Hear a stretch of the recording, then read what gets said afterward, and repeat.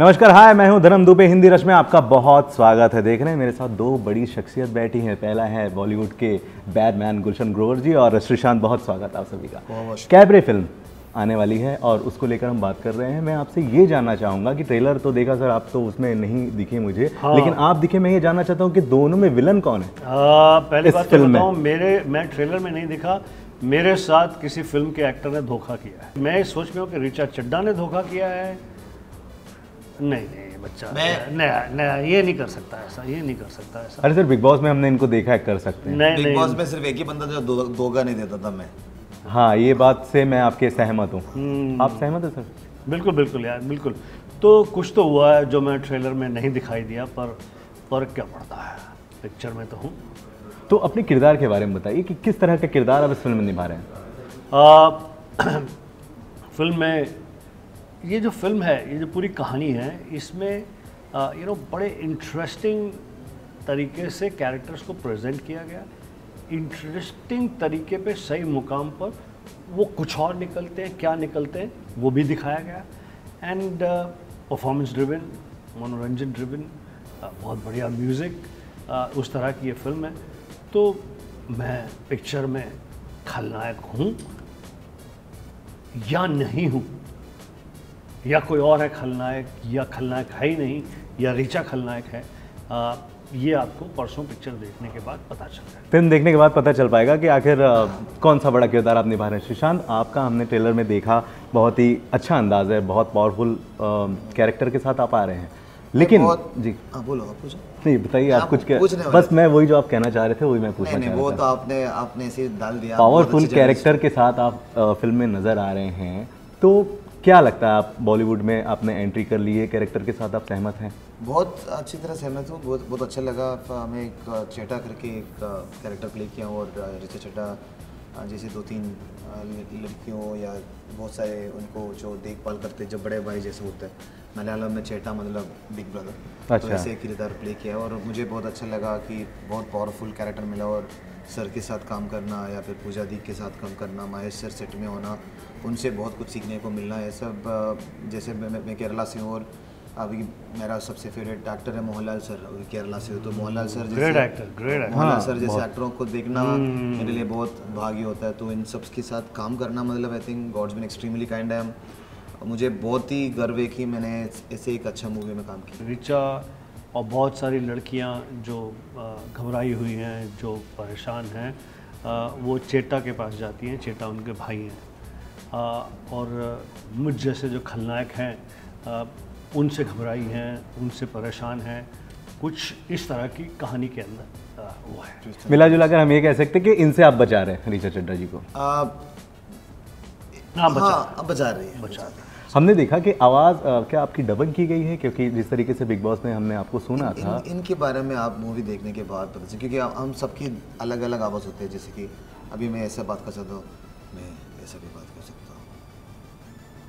तो करेक्ट आपने बहुत सारी बॉलीवुड फ़िल्मों में काम किया डिजिटल प्लेटफॉर्म पर कैसा एक्सपीरियंस जी पहली बात तो ये फ़िल्म जो है आ, बड़े सिनेमा बड़े पर्दे के लिए बनाई गई है। ये जो फ़िल्म चूँकि जो डिजिटल पर प्रीमियर होने वाला है ये डिजिटल प्लेटफॉर्म पर आज तक जो आ रहा है उसकी बार को रेज कर देगा। जी। क्योंकि डिजिटल पर नॉर्मली ये धारणा है कि पैसे बचा लो छोटे से पर्दे पर ही तो देखना है छोटे से मोबाइल पर देखना है या आईपैड पर देखना है।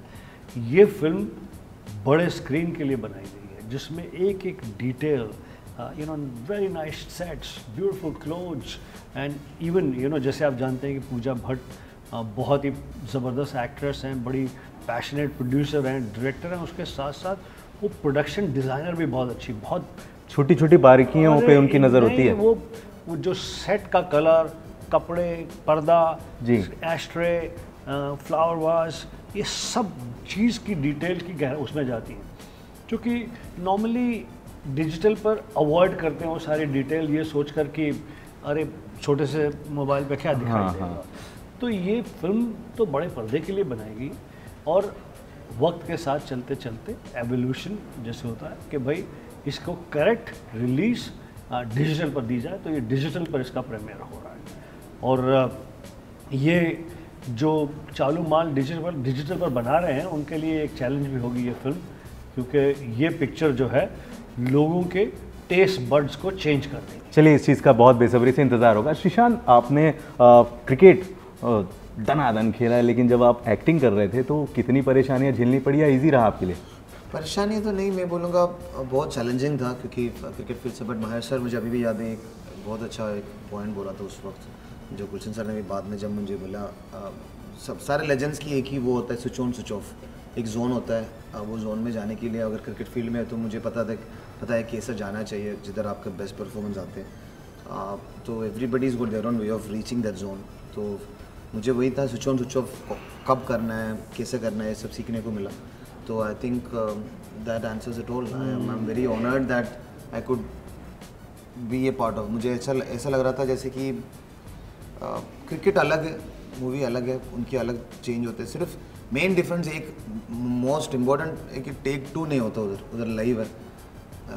आप गलत हुआ तो गलत है गलत सही है। हुआ तो वाइट बॉल है तो वाइट मौका बॉल नहीं मिलता जल्दी। बट टेक टू उधर भी मिलता है वाइट बॉल वापस अच्छा बॉल डाल सकते हैं। डाल सकते हैं। वापस वॉक करके। तो उधर भी ये थोड़ा मिलजुल है अगर देखे तो स्पोर्ट में भी। तो I think I am very honoured यार all I can say is it's a great learning experience क्योंकि अभी मेरे पास क्रिकेट नहीं है तो उस स्पेशली पूजा दी का और इस प्रोडक्शन का मैं बिल्कुल आभारी रहूँगा क्योंकि उन्होंने जब वो मौका दिया, मेरे लिए बहुत इंपॉर्टेंट भी था ब्रेड एंड बटर के लिए भी. तो I think when it comes to entertainment now god's been extremely kind but 2014 15 when I was shooting this movie was very very important for me बिल्कुल दूर का भविष्य देख पा रहा हूँ. मुझे तो ऐसा लग रहा है कि आगे चलकर आप पर भी बायोपिक बन सकती हाँ. बायोपिक के बारे में मैं नहीं बोलूँगा। मेरे ऊपर सीरीज़ का कुछ चल रहा है देखते हैं जी महाराज। गुलशन जी आपने तमाम फ़िल्में की हैं लेकिन ये जो कैबरे की बात करें तो इसमें शराब है शबाब है एक्शन है वही सारी चीज़ें बहुत बार इस्तेमाल की गई हैं। इस बार क्या खास रहेगा कि लोग देखेंगे? ये सारी जो चीज़ें हैं ये फ़िल्म का हिस्सा नहीं है ये फ़िल्म में कहीं हैं। ये का, ये कहानी है एक दिल को छूने वाली कहानी एक आम लड़की की कहानी। इट्स एक्चुअली हम सब इस कहानी को सपोर्ट कर रहे हैं आगे बढ़ा है। ये कहानी यू नो रज्जो। जी। रज्जो से वो रोज़ा कैसे बन बन जाती जी। और रोज़ा बनने के पीछे क्या कहानी है और रोज़ा बनने के बाद उसे क्या तकलीफ़ है? क्या अंदर की फ्रस्ट्रेशन है? वो एक डीपर स्टोरी है। उसके अंदर ये बाकी जो पहलू हैं वो फ़िल्म का हिस्सा नहीं है वो फ़िल्म में हैं। किसी तरह से। तो ये बहुत ही दिल को छूने वाली फ़िल्म है। With tremendous entertainment great music fantastic visuals great performances Richa Chadda की ये बहुत ही शानदार परफॉर्मेंस है। इनफैक्ट वो बहुत ही सुंदर बहुत ही सेक्सी और बहुत stunning she is looking at the best as I know she looks very pretty and very beautiful but I, I believe uh, doing the cabaret hmm. those times she was very particular about very diet well. and we're training really hard and Pujari was very strict when it comes to the character so I think uh, she is looking stunning boldness के लिए जानी जाती हैं रीचा चड्डा बहुत सारी फिल्में उन्होंने ऐसी की हैं आप उनके साथ काम किया आपने। क्या एक्सपीरियंस रहा? कोई एक छोटी सा किस्सा शेयर कर सकते हैं? आपको बड़ा मज़ा आया उस दिन। आपको कुछ सीखने मिला या आपका यादगार पल? मुझे हर हर कोई सीन बहुत मज़ेदार रहा क्योंकि मुझे ब्लेंडिंग करो था और मुझे यकीन नहीं था कि मैं ऐसे एक किरदार निभा पाऊँगा। तो और हाँ। जब कोई भी सेट्स में कोई भी आते थे मुझे एक एक बहुत सारे ऐसे सीन्स है जिधर में और रिचा इन्वॉल्व है बट मुझे एक सीन है पर्टिकुलर सीन जिधर एक थोड़ा इमोशनल सीन है वो मैं अभी शेयर नहीं कर सकता मैं इतना बोल सकता हूँ कि वो सीन जो मूवी में आया तब बहुत हँसी मज़ाक चल रहे थे और मेरा है कि स्विच ऑन स्विच ऑफ़ जो सर वगैरह बोलते हैं वो स्विच ऑन स्विच ऑफ़ नहीं हो रहा था उस दिन क्योंकि मेरा पर्सनल प्रॉब्लम कुछ चल रहा था। जी। तो मुझे अभी भी याद है रिचा ने और पूजा दी वगैरह सब आके मुझे समझाया था आप आपका कैरेक्टर डिफरेंट है मूवी डिफरेंट है। क्रिकेट फ़ील्ड में भी जब अगर बोल डालते हो या फिर वो पर्सनल लाइफ की चीज़ें नहीं आ सकते। So that day was very difficult for me, but the way the actors cope up with life's pressures and personal life, you know, it's like literally switching it off the moment you put on makeup and not even looking at the phone. And even when your mom or even your dad, someone is very serious also, mm. the way they deal with, hats off to them. Hats off to them. So much to learn. आपके fans बहुत दिन से नाराज़ थे आप नहीं दिख रहे थे फ़िल्मों में नहीं आ रहे थे बट अब वो बहुत खुश है इसलिए मैं और फैंस की तरफ़ से भी मैं ये मैं कहना चाहूँगा। मैं भी बहुत खुश हूँ भाई मैं भी बहुत खुश हूँ बोलिए जी क्या? ये कहना चाहूँगा कि सर जाते जाते एक बार अपने अंदाज में इस फ़िल्म से रिलेटेड ही आप भी एक डायलॉग बोलें और आप भी बोलें। भाग कर कहाँ जाओगी? दुनिया गोल है मेरे सामने ही पहुँच जाओगी। बिल्कुल लाइव अंदाज देख रहे हैं आप? जी आप। मेरे मूवी में बहुत सारे ऐसे अच्छे अच्छे डायलॉग हैं क्योंकि मुझे उसमें अच्छा आप अपना पसंदीदा बोल दीजिए चलेगा। मेरा फेवरेट दगा दुश्मन नहीं दोस्त है।